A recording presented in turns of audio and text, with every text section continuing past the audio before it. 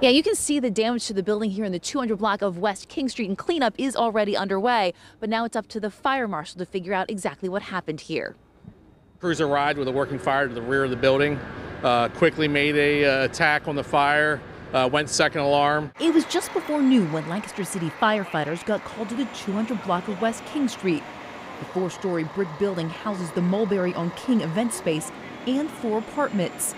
Damage to the 150 year old building is significant, especially on the first floor. I Haven't been able to even go in the building yet, so I don't even know what we can save and what we're not going to be able to save. But building owner April Copenhaver says the most important thing is that everyone got out okay. Everybody's safe, thank God. Yeah, everybody's safe.